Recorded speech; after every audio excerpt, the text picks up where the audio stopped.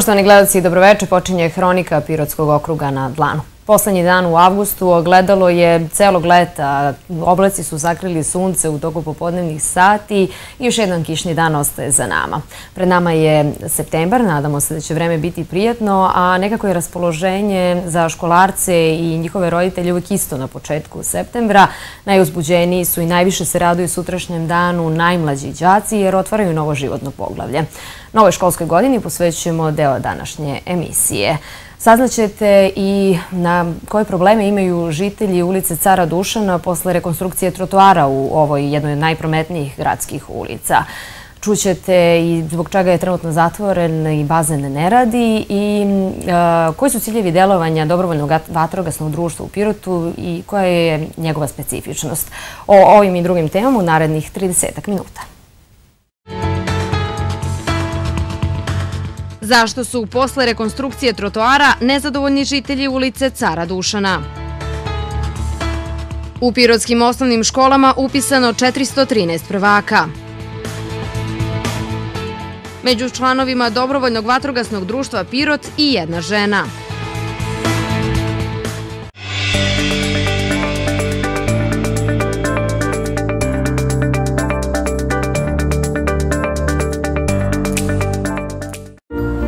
Sam Gosan Spasić, a ovo je porodica Kulić. U svojoj novoj kući, ali spoljašnja lepota nije prava ako se unutra krije strava. Izgleda kao da je čitava kuća zaposednuta nekakvom zlom silom, a iza svega je stajao majstor Mile. Su razmišljali unapred, a Mile je samo jedno nesavršeno biće u jednom predivnom, ali nepredvidivom svetu.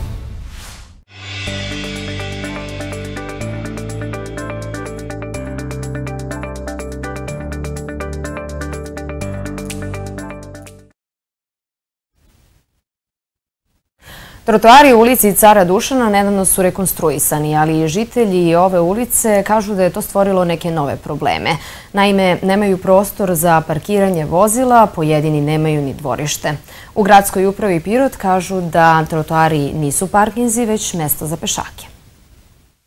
Posle dugo očekivanog uređenja trotoara u ulici Cara Dušana stanovnici dalje nisu zadovoljni uređenim poslom koji je bio poveren javnom preduzeću za planiranje i uređivanje građevinskog zemljišta. Trotoari ispred kuće su uređeni i postavljen je novi behaton, ali neki od žitelja nemaju dvorišta gde mogu da parkiraju svoja vozila. Parkiranje na trotoaru im nije dozvoljeno. Peticiju o rešavanju problema je potpisalo više od 70 građana ove ulice. Branimir Jovanović kaže da je još 2012. godine lokalnoj samoupravi platio taksu za izgradnju i obeležavanje parking mesta, a sada posle rekonstrukcije trotoara nema dozvolu da parkira automobil ispred svoje kuće.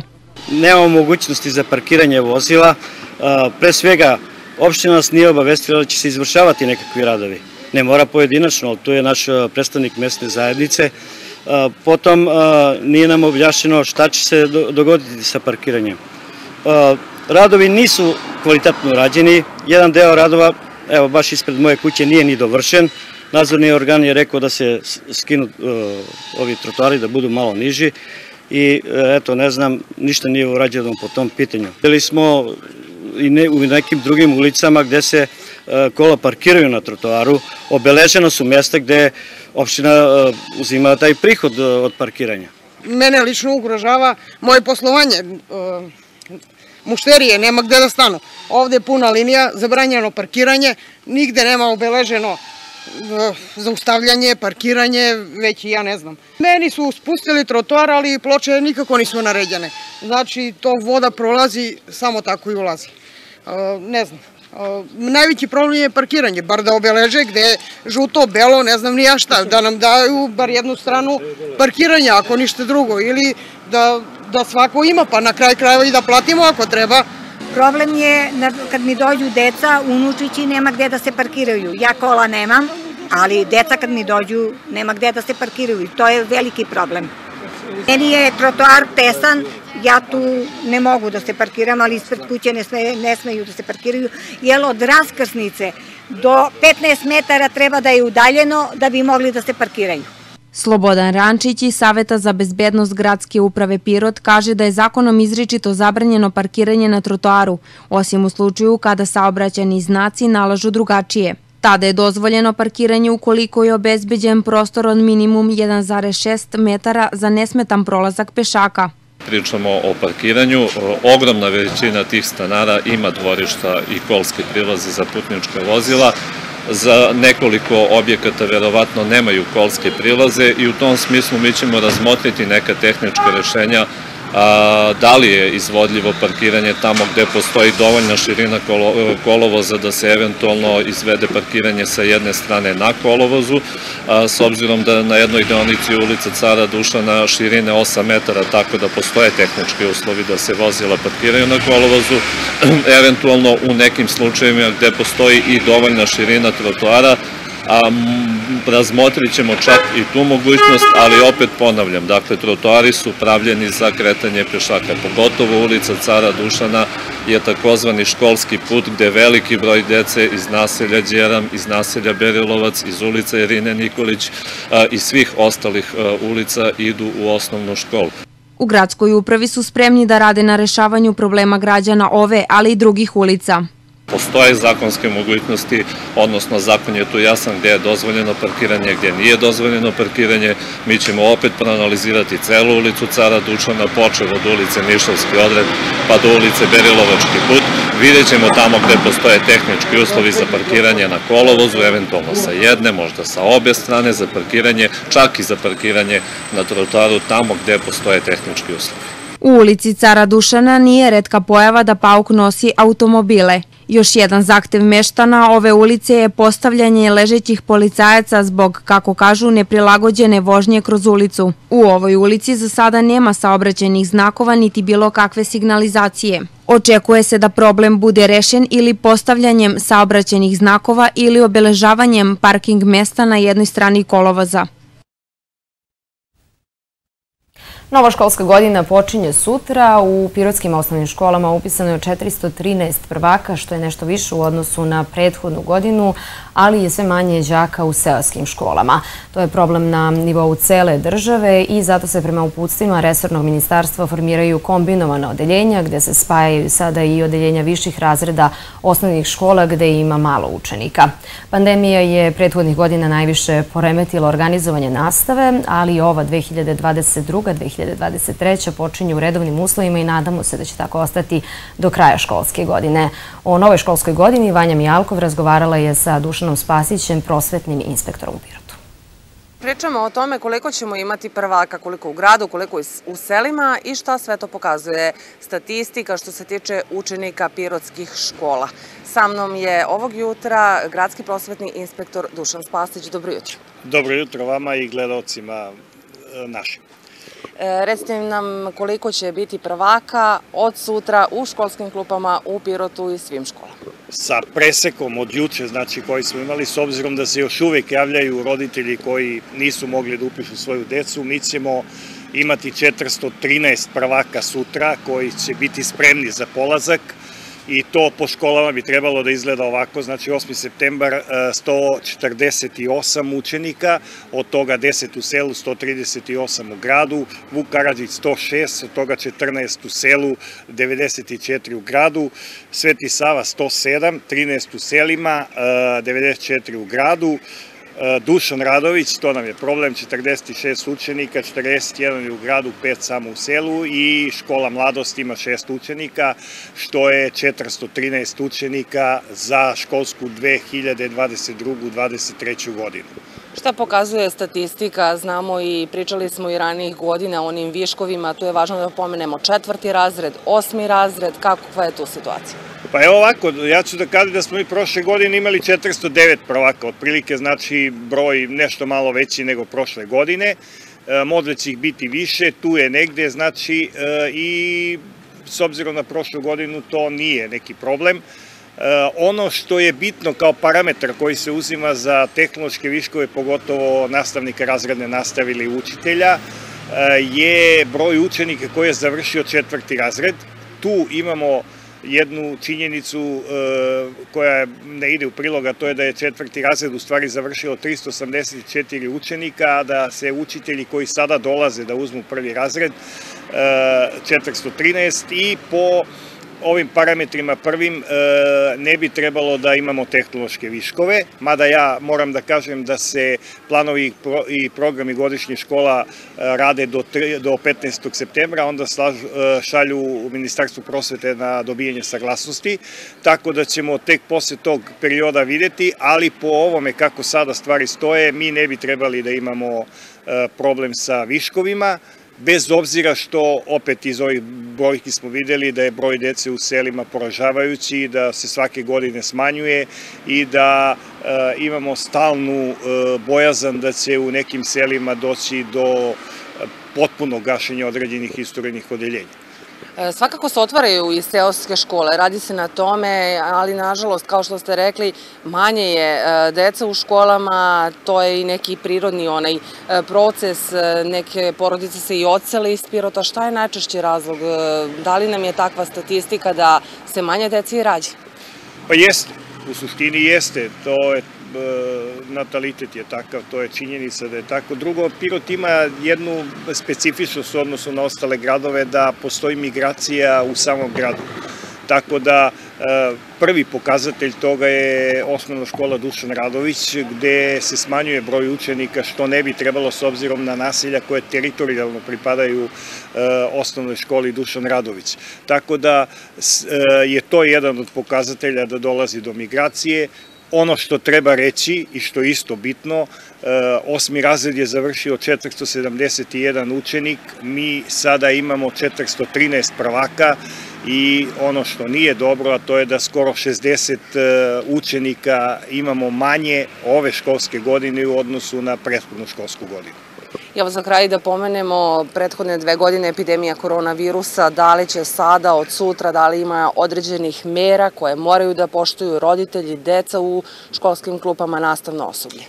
E, one mere koje su postojele, znači koje je samo ministarstvo i štab e, propisivao, e, neće biti, znači deca će krenuti svi u školu, znači puno odeljenja, imaće potpuno isti raspored kao kad je bilo ono vreme pre korone, u suštini osnovne one preporuke koje ministarstvo daje i štab oko dezinfekcije, oko nošenja maske ostaje na, u, u, ono, u, po preporuci, to je ko kako misli, ko kako treba, uradit se to od sutra, za dalje vidjet ćemo kako epidemiolozi kažu, tako ćemo da vidimo. S obzirom na to da je po našoj nekoj statistici broj dece koja u ovom trenutku oboljevaju od korone vrlo mali, ne postoji nikakva bojazan i ne postoji nikakav razlog da se u školu ne krene potpuno normalno, da posle dve godine krenemo da razmišljamo samo o školi, da se ipak deca raduju, da e, se druže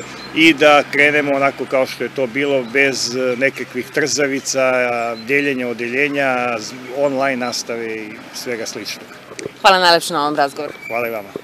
Poštovani gledalci, čuli ste Dušana Spasića, gradskog prosvetnog inspektora, svim prvacima. Sutra želimo srećan polazak u školu, a onim starijima e, i onima koji pohađaju one druge razrede. Želimo srećan povratak u klupu i verujemo da ove godine korona neće deliti odeljenja, da neće biti online nastave, nego da će se svi družiti i biti zajedno u kolektivu.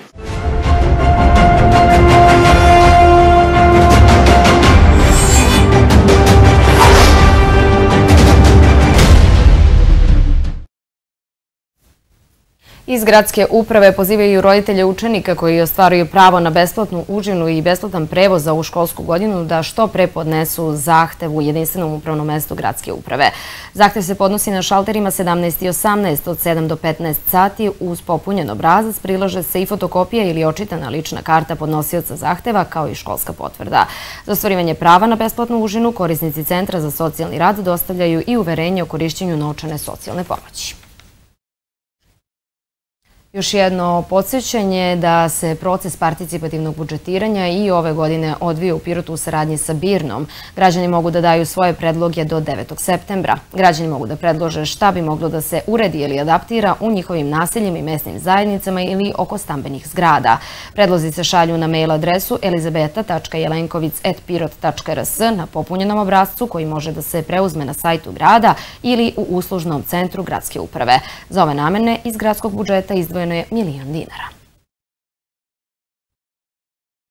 Zbog određenih problema u elektroenergetskom sistemu, štednja energije je tema broj 1 u Srbiji. Ministarstvo rudarstva i energetike usvojilo je predloge preporuka za smanjenje potrošnje električne i toplotne energije za državnu upravu, jedinice lokalne samouprave, javna preduzeća, privredu i građane. Nemarni smo, pa često rasipamo energiju, da toga nismo ni svesni. Da li merama štednje možemo da sačuvamo i sigurno izbegnemo restrikcije? Odgovor na ovo i druga pitanja čućemo u prilogu televizije Zona Plus. Ministarstvo rudarstva i energetike pripremilo je predlog za uštedu u potrošnji električne i toplotne energije. Preporuke bi, kako je saopšteno, trebalo da počnu da se primenjuju što pre i to u periodu od 1. septembra 2022. do 31. marta 2023. godine. Dekan Ekonomskog fakulteta u Nišu, profesor dr. Tadija Đukić, ocenjuje da će mere nastupiti u pravo vreme. Mislim da će mere makroekonomske politike koje se preduzimaju na državnom nivou doprineti održavanju inflacije na planiranom nivou. Ili, jednostavnije rečeno, ne očekuje dalji rast cena i pogotovo što će stanovništvo iz ličnog iskustva, iz razgovora sa svojim kolegama, prijateljima, većina podržava sve ove mere. A štedimo li uopšte električnu energiju? Mislim da neće da urode nikakvim plodom. Zbog čega? Pa ne verujem, zato što mislim da se na raznoraznim stranama previše rasipa, onda pokušava da se uštedi nešto što nebitno totalno. Imam strogog supruga, tako da gasimo sijalice, uključujemo boljac samo na jeftinu struju. E, još nije stiglo za zagrevanje prostorija, tako da ćemo i to da štedimo. Ni najveći bogataši ovaj, ne štede, pa što, što bismo i mi? Mi smo velika porodica, ne možemo da se pridržavamo mera štednja, imamo malu decu, tako da to kod nas teško ide. Električari kažu da je najveći trošađija u kući bojler. I dobro je imati uređaje, nove uređaje A klase, znači novi frižideri i novije veš mašine, novije mašine za pranje sudova, jer oni znatno štede električnu energiju. Svi stari uređaji koji su stariji od 10 godina, oni su znatno veći potrošači nego ovi novi uređaji. Svoj doprinos uštedi energije daje i ekonomski fakultet u Nišu. Pa smo mi već dali upustvo svim našim nastavnicima i saradnicima da prilikom završetka radnog vremena isključe računare, takođe računare i svu opremu koju imaju kako ne bi trošila struju u popodnevnim satima. Takođe sve, većinu službi smo prebacili ili pregrupisali da radi u prvoj smeni kako opet ne bismo imali dodatno trošenje struje u pogledu osvetljenja na fakultetu. Procenjuje se da na dnevnom nivou može se uštediti više od 15% ukupne dnevne potrošnje električne energije na nivou Republike Srbije. Na godišnjem nivou bi to iznosilo oko 5300 gigavat sati od ukupno potrošenih 33.000 gigavat sati. Drugim rečima ne bi bilo potrebe za uvozom na godišnjem nivou. Među članovima Dobrovoljnog vatrogasnog društva u Pirotu je i jedna žena. Ovo društvo ima važnu ulogu u oblasti bezbednosti i na poziv nadležnih njegovi članovi učestvuju u akcijama civilne zaštite. 28-godišnja Milica Todorović iz Pirota jedina je žena od 20 članova jedinice Dobrovoljnog vatrogasnog društva koje su završili obuku za učestvovanje u akcijama civilne zaštite. Milica je zaposlena, a slobodno vreme koristi za dodatno usavršavanje, obuku i pomoć stanovništvu. Do sada je sa kolegama iz ovog društva bila angažovana na brojnim poslovima.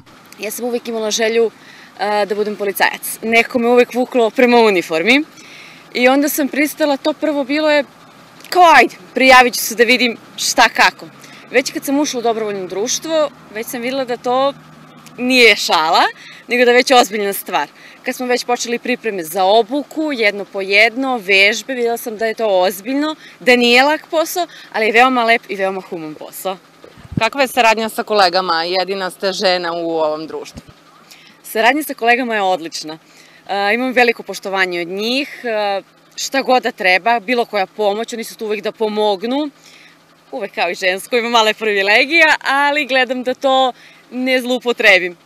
Goran Denčić, predsednik Dobrovoljnog vatrogasnog društva Pirot, koje je posle 2015. ponovo počelo sa radom 2020. godine, kaže da društvo trenutno ima 60 članova. Ocenjuje i da je saradnja sa nadležnim institucijama i organizacijama dobra. Za sada rade po pozivu štaba za vanredne situacije grada Pirota, Ministarstva unutrašnjih poslova i sektora za vanredne situacije.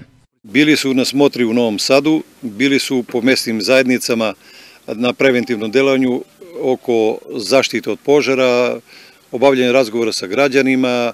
Bili su angažovani na dežurstvu za vreme održavanja vašara u Pirotu i e, nekoliko puta su bili u obilasku mesnih zajednica, išli su na, na teren po zabačenim selima. Cilj lokalne samouprave i štaba za vanredne situacije je osposobljavanje članova jedinice Dobrovoljnog vatrogasnog društva koji će raditi na civilnoj zaštiti, kaže koordinator štaba Sreten Savov. Načina formiranja jedinice civilne zaštite jeste osposobljavanje rada e, dobrovoljnog vatrogasnog društva, odnosno dobrovoljne vatrogasne jedinice, koja će, pored ovih poslova zašte namenjena, to je učestvovanje u gašenju požara preventivnim i e, intervencijama na samom gašenju požara na, na otvorenom, bili bi angažovani i na e, zaštiti i spasavanju građana i imovine od drugih vidova prirodnih katastrofa. E, pored požara, tu su poplave, klizišta, ekstremno niske temperature i drugi vidovi nesreća.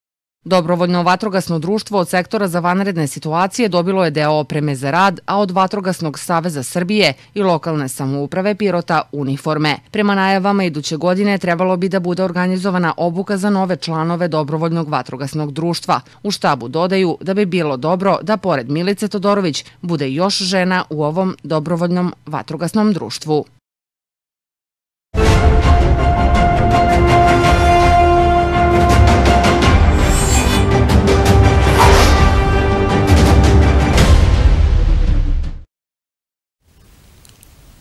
Ako ste planirali da ovih dana odete na zatvoreni bazen, treba da znate da bazen ne radi i da razmotrite koji drugi vid rekreacije bi vam prijeo. Bazen je ispražnjen zbog redovnog remonta, a dok traje remont i dalje su vam na raspolaganju teretana i sauna. Od petka zatvoreni bazen ne radi zbog remonta. Prošle godine remont nije urađen zbog epidemije koronavirusa, tako da su u sportskom centru Pirot iskoristili ovaj period godine kada je najmanje posetilaca da očiste bazene i u potpunosti provere instalacije i mašinski pogon. Bazen i veliki i mali su ispražnjeni, od petka, kažem, smo prestali sa radom i u narednih par dana izvršit ćemo našu redovnu kontrolu, pre svega tih mašinskih instalacija, postrojenja, odnosno e, samo srce bazena, e, redovno održavanje pumpa, zatim e, filtera i svega ono što utiče, kažem da eto, bazen, bazen radi ispravno. Za par dana ćemo očistiti samo, kažem, školjku bazena, bit će to oprano, sređeno, dezinfikovano i nadamo se da u toku naredne nedelje krenemo sa punjenjem bazena kako bi iskoristili ovo lepo vreme, sunce, da se voda, kažem, opet vrati na temperaturu koja je prigodna za kupanje i krećemo sa radom i pored remonta bazena, prateći sadržaj su dostupni svim zainteresovanima. Teretana i spa centar rade od 8 ujutru do 8.30 na veče, e, tako da svi oni korisnici koji, kažem, koriste ove sadržaje mogu da dođu da posete objekat. E, što se tiče samog bazena, na vreme ćemo obavestiti, obavestiti e, građanstvo kada ćemo početi sa radom. Kažem, opet bolje da produžimo i dan, dva, tri, taj period kada nećemo raditi kako bi eto sve završili i sve doveli u ispravno stanje. Filipović ne želi da se bavi prognozama, ali očekuje da kompletan posao bude završen u narednih 7 do 10 dana. Posle toga bazen će kao i do sada biti otvoren za sve sportske klubove koji tu treniraju, rekreativce, ali i đake koji u okviru predmeta fizičko vaspitanje imaju i časove plivanja. U mlađim kategorijama radničkog trenutno je više od 130 dečaka u šest različitih selekcija, od kojih su četiri takmičarske. Sa decom radi osmoro trenera. Od kako je izmišljen futbol, jedno od nepisanih pravila za uspešan rad nekog kluba je dobar rad sa mlađim kategorijama. Stalno ističemo da je Pirotski radnički institucija, klub od imena i ugleda. U prethodnih 77 godina u mlađim kategorijama belih poniklo je na hiljade sjajnih futbalera. Bilo je tokom istorije i uspona i padova. U taboru belih sada žele da rad sa mlađim kategorijama podignu na najviši mogući nivo. Zaista je lepo videti ovoliko dece ovaj, posle dužeg vremena u klubu, ovako organizovane. Što se tiče samog broja dece, znači ukupan broj dece koji se nalazi trenutno u selekcijama je oko 140 deteta. Znači počevo od početnika koji su 2015. godište do onih najstanijih omladinaca koji su 2003. godište. Svaka selekcija otprilike broji po 30 deteta, što je sasvim zadovoljavajući broj trenutno u ovoj situaciji i ovaj, mogu da kažem da smo svi mi treneri zaista zadovoljni odzivom dece koja dolazi na treninge, koji su zainteresovani za naše treninge. Bez kvantiteta nema ni kvaliteta pojavila se i konkurencija u vidu privatnih škola futbala. Dajemo sve od sebe i pokušavamo da još više ovaj, privučemo te dece da dođu u naš klub. Bilo je nekih perioda gde je bilo kriza, gde je bilo malo dece, gde zaista je bilo teško raditi, međutim sada pokušavamo na, znači, u saradnji sa predsednikom i sa klubom da obezbedimo što bolje uslove, kao što i sami znate pojavili su se i druge škole u, u Pirotu, ja to cenim i poštujem, to je dobro za konkurenciju, znači rad se ceni, tako da sigurno će to doprineti da i boljem radu i kod nas i kod njih. Iako je ranije najavljeno, klub za sada još uvek nema koordinatora mlađih selekcija. Uz Manića od starih trenera tu su još Slobodan Đošev, Milan Tošić, Dragan Cvetković, Mihajlo Marinković i Bojan Božić koji radi sa mladim golmanima. Nova imena su Dragiša Zlatanov koji je priključen mladincima i prvotimac Bojan Dojkić koji radi sa početnicima. Od šest selekcija četiri su takmičarske, za njih je počela nova sezona – U klubu su trenutno deca od 2015. godišta do mladinaca od kojih su neki poput Veljka Živkovića već debitovali za prvi tim radničkog. Pa lepe uspomene stvarno kad vidim ovu decu, setim se mlađih dana. Od petog razreda treniram, naporno radim. Bore se za prvi tim, priključujem se prvom timu. Sada igram za mladince, treniramo sa mladincima. I tako želim ovoj deci uspeh u narednom periodu. Se trude, stvara svoje snove i Neke gure napred. Zovem se Vasilija Petrović. Koliko godina imaš? Sedam. Ti si apsolutni početnik, kako je na ovim trenizima? Predobro. Kakvi su treneri, kakvi su drugari, novi drugari ovde? Mnogo su dobri. Nastavit ćeš da treniraš? Da. Odlično. Ti si? Ja se zovem Uroš, prezime mi je Ćirić i imam 8 godine. Uroše, i ti u selekciji početnika, kako ti se čini? Pa super je, mi smo tek sad krenuli da treniramo, ja sam zadovoljan igrom. Novi trener Bojan Dojkić, on je još uvek prvotimac, kako on radi s vama? Pa super je. Opširniju reportažu o radu sa mlađim kategorijama u futbolskom klubu Radnički možete pogledati u ponedeljak u emisiji Sportsko srce koje je na našem programu od 21 sat. Mladi futboleri stasavaju i redovima drugih klubova. Besplatnu školu futbala za decu predškolskog uzrasta i učenike od prvog do četvrtog razreda organizuje futbolski klub Gimnazijalac. Treninzi su utorkom i četvrtkom u sali osnovne škole Vuk Karadžić u 18 sati. Sa decom će raditi treneri Goran Vasić, Aleksandar Mančić i Darko Vasić. Zainteresovani mogu da se prijeve u vreme treninga u školi počevši od sutra. Toliko današnjem izdanju Hronike i sutra smo za vas tu u istom terminu. Hvala vam pažnje. Thank you.